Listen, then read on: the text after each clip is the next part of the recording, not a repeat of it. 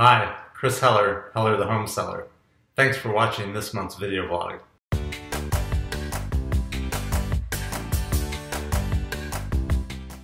A lot of people are contacting us. They have the desire to make a move, but they're concerned or they're fearful that they're not going to be able to buy a place.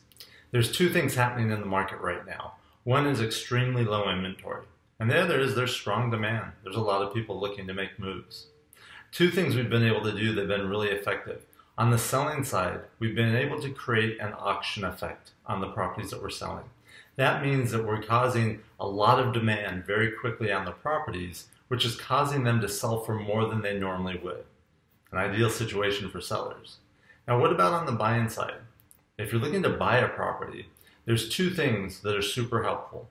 One is having an agent that knows how to win in a multiple offer situation. That's critical in this market because almost every property selling is selling with multiple offers. And the second thing is being able to find properties that aren't on the market or aren't on the market yet. Those are two things that we do at a very high level. If you know someone who's trying to buy a home or thinking about selling their home, contact us so we can put these practices and these strategies into play for them. Thanks for watching.